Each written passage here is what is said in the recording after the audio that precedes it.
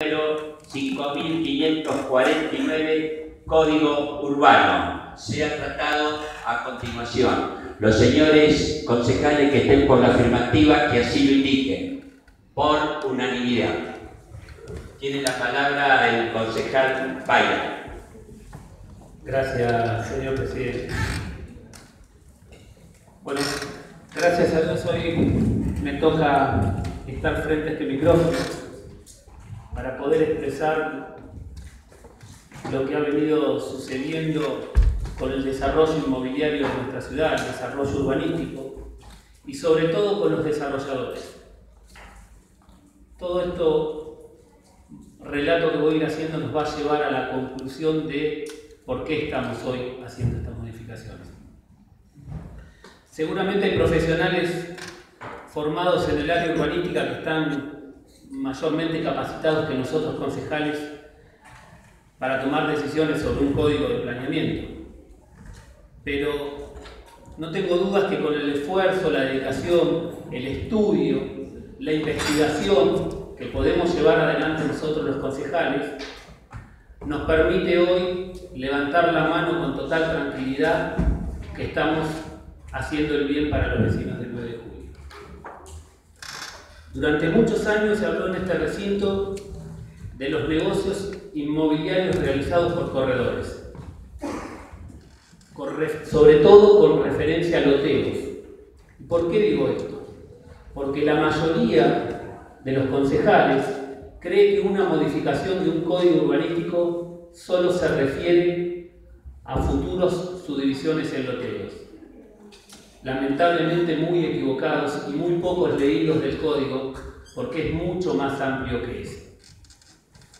Por eso me permite explicar cómo son los procesos de cuando uno hace una subdivisión y que no son los corredores inmobiliarios los que presentan la subdivisión en el municipio, sino que son los agrimensores, con un mandato de un propietario de la tierra. Posteriormente a esto, el municipio es el que otorga los permisos para realizar las aperturas de calle y empezar con todo lo que es el desarrollo inmobiliario. Cuando leí estudiando realmente este expediente, me encontré con algo muy sorprendente de la concejal López en la modificación del código del 2015, que decía lo siguiente, hoy, hoy nosotros estamos tratando y tratando de solucionar problemas que se dieron por diversos motivos. Y la concejal decía, ¿qué pasa? Que todos estos loteos, que las calles que se abrieron durante todo este tiempo, que las obras de iluminación, todo lo que se vino desarrollando, ¿se cree que se hacía de noche a escondidas o se hacía a la vista de todo el mundo? No, se hacía a la vista de todo el mundo. Lo que pasa que en ese momento el Estado, los concejales, estábamos ausentes de observar lo que venía sucediendo con el Código Urbanismo. Entonces, ¿Qué pensamos? Que un desarrollador, un propietario, era tan generoso que abría una calle, que le ponía luz para que transiten el resto de los vecinos, cómodos, o que lo hacía porque ya tenía un visado municipal, porque una ordenanza votada en este mismo recinto había sido aprobada. Y el Estado seguía ausente. Llega el momento que intervienen las inmobiliarias, por supuesto, que quieren vender ese lote, con o sin escritura, responsabilidad del corredor. Continúan los pasos, obras realizadas, interviene un, escribano que realiza contratos. Seguimos avanzando. Por supuesto, el Estado ausente. Pero llega el momento que nos encontramos con el reclamo de los vecinos, muchos de ellos hoy están acá, que con gran esfuerzo construyeron sus viviendas en esos lotes, previo a haber venido al municipio haber solicitado un permiso de electrotecnia, el cual se les entregó, por supuesto, porque había una ordenanza votada en este recinto donde les permitía esa subdivisión. Pero por error, por omisión, de, podría ponerle nombre y apellido de quienes, pero no es lo que nos interesa hoy, porque hoy lo que todos los vecinos que están acá y nosotros los concejales lo que nos preocupa mayoritariamente en este cambio es resolver situaciones complejas de estos vecinos que no están pudiendo escriturar su tierra. Entonces, durante todo este tiempo, el Estado ausente y llegamos a este momento, que hay que hacer modificaciones en el código. Antes de empezar a redactar cada uno de los artículos que tiene el código, eh, no me quiero olvidar de de mencionar, a ver, de que todos entiendan que lo que vamos a votar hoy, que hace 20 días tenemos en las comisiones, no es la modificación de un código completo urbanístico. No. A ver, no nos asuste con las declaraciones diciendo 20 días para una modificación de código. Son modificaciones puntuales que hay que leerlas y que están muy claras y que si uno lee, que si uno lee el Código de Urbanismo Municipal, si uno lee la ley del, del, del hábitat, se va a encontrar que no se está pidiendo nada fuera de lo que está redactado en las leyes vigentes. Por eso ahora, señor presidente, quiero que todos escuchen con atención de qué se tratan estos artículos en los que cuenta el expediente. Vuelvo a repetir, que nadie piense que nos dieron 20 días para cambiar un código urbanístico completo. Este expediente cuenta con la regularización de tres barrios de vecinos que no pueden escriturar y algunas modificaciones donde, por cuestiones técnicas específicas que están aclaradas en los códigos, que cuando una zona se consolida en un 70%, debemos permitir que la zona de reserva entre a la característica de esta zona. Entonces ahora voy a detallar artículo por artículo y me gustaría que los empiecen a memorizar el resto de los, de los concejales para que después me puedan decir, cuando termine, no estoy de acuerdo con este artículo porque me parece que está mal, o no estoy de acuerdo con este otro, o estoy de acuerdo con todo pero que me expresen cuál es el artículo que pueden llegar a tener eh, alguna complejidad para acompañarlo. El artículo 1 habla, yo no lo voy a hablar tan técnicamente y lo voy a tratar de explicar en la zona de la ciudad para que puedan entender todos. Desafectar de residencial urbano 5 las chacras que se encuentran entre las viviendas que se están entregando en el barrio de Los Aromos, aquella calle de allá, viniendo por Ascuénaga hasta la calle Juan José Paz. Las viviendas que se entregan en Los Aromos se pudo subdividir porque eh, se hizo por ley de hábitat. Y ahora nos queda una chacra completa que nos separa de los barrios actualmente consolidados que están en reservas. Eh, Creo que con muy buen atino el municipio cree que el desarrollo urbanístico de Ciudad Nueva tiene que continuar por la calle Escuela. ¿Por qué? Porque se está pavimentando, porque se está llevando el gas, porque se está llevando la cloaca. Entonces es necesario y es justo porque el R5 perdón, está consolidado en un 70%, entonces es justo que esta reserva pase a RU5. Artículo 1 creo que no va a haber inconvenientes que lo acompañen. Artículo 2. En el mismo caso que el artículo 1, la misma línea, la misma franja, pero sí sobre calle Escuela, pero si ahora partimos desde la vía del ferrocarril Sarmiento hacia el lado de la ruta, es la primera chacra a la derecha que está vacía, que es reserva. Nos quedó esas tres cuadritas vacías a la derecha sin poder hacer nada y después comienzan los barrios. Otra vez, el mismo caso que el anterior, artículo 2. Salimos de RU5, de la reserva de R5 y lo pasamos a R5. Nada por, por objetar, nada. Un párrafo aparte, cuando alguien pregunte, ¿estás beneficiando a estos propietarios? ¿Y cuándo se le va a cobrar la plusvalía? Después les voy a explicar, porque la plusvalía no tiene nada que ver con el código o con una modificación a hoy. Nada que ver, escúchenlo. No quiero después que me digan, eh, le estás dando una subdivisión y no le vas a cobrar la plusvalía. Estudien la ley de hábitat y el código y se van a dar cuenta que no es necesario hoy. Artículo 3. Incorpórese a, a la zona residencial extraurbana 2. Esto es un indicador nuevo que se crea en el Código Urbano 9 de julio.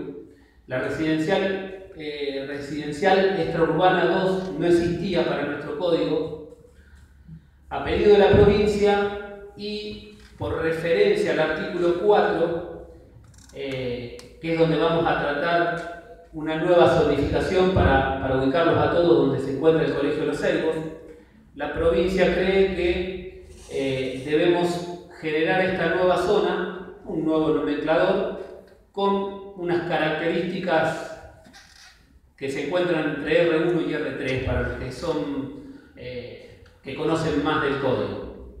Nada, no, tiene características muy raras, es, muy normal. Está en un mix entre uno y otro. Entonces, artículo 3, creamos una, nueva, una nueva zona residencial.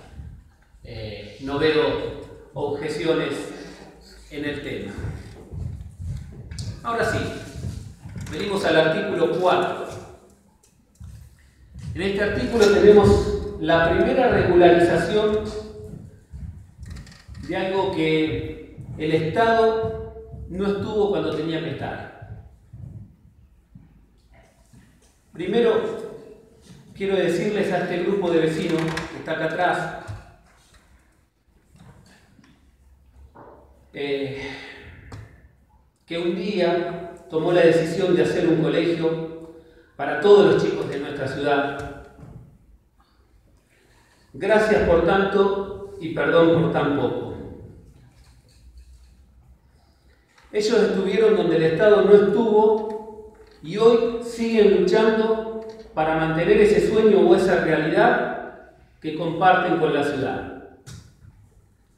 Ustedes, todos los concejales ¿Cree que ellos iniciaron este proyecto?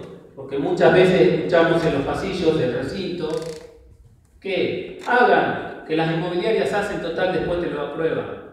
¿Ustedes creen que esta gente que fue capaz de generar lo que generó, se les ocurrió hacer un colegio en Ciudad Nueva con todo lo que conlleva?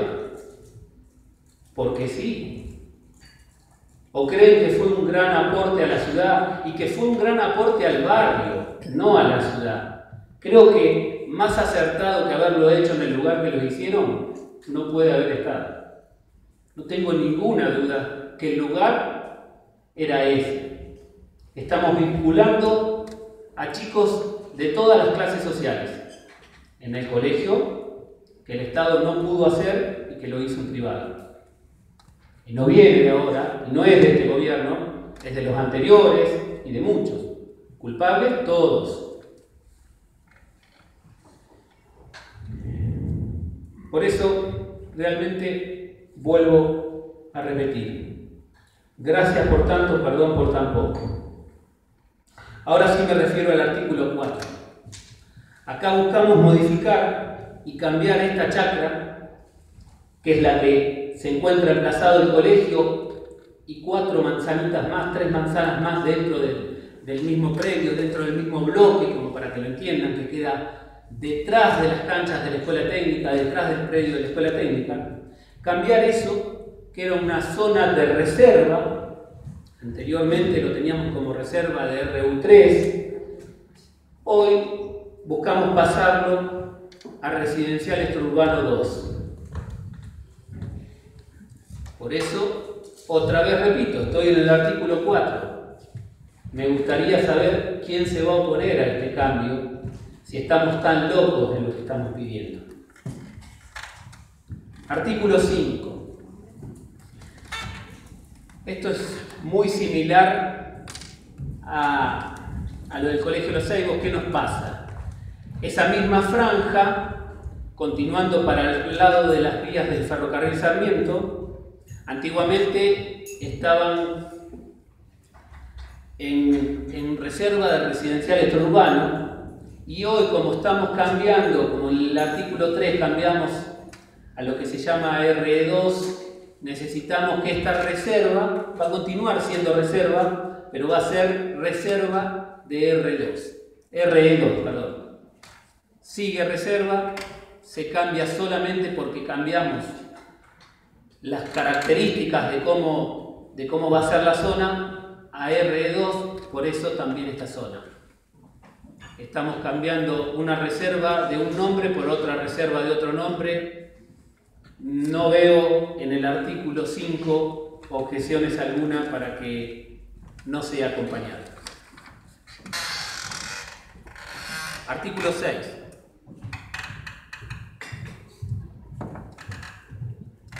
Desafectar de reserva residencial extraurbano la chacra 109. Eh, perdonen porque son muchos y, tengo que ir guiándome con el plano porque no las recuerdo de memoria. Esto continúa a la continuación de la avenida Perón, de, de lo que sería el acceso, pasando el Colegio San Agustín.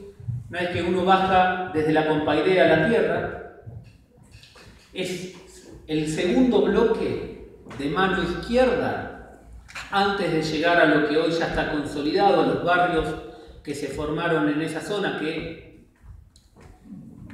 por, seguramente por algo que se hizo mal en algún momento, porque arrancamos de lo más lejos y hoy estamos tratando de cambiar algo que está más cerca de la ciudad. Pero bueno, lo hecho, hecho está, ya está lo otro. Entonces necesitamos reorganizarnos y hacer las cosas bien, como corresponde hoy.